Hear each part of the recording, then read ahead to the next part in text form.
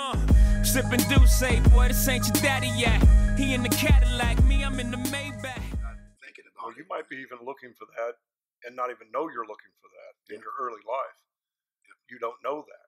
That's and true. you're drawing something to you that's not that, mm-hmm. which sometimes is a uh, is a good way that it actually teaches you about you know sometimes we have to learn what we don't want before we find what we do want. Yeah, yeah, and then, and that's true that you say that because like I know for me, my mom has been like she's the youngest of six, but like she mm-hmm. was the the leader of the family. Like when mm-hmm. something happened, they would come to her for all these type of things. So like being there with the example that I had, and she was so strong and confident, independent who she is. To, I could never deal with a woman that needed to be um, have to got to be needs attention or needs. Uh, I never be with a needy woman because my mom is so gangster and so strong that like. Mm-hmm.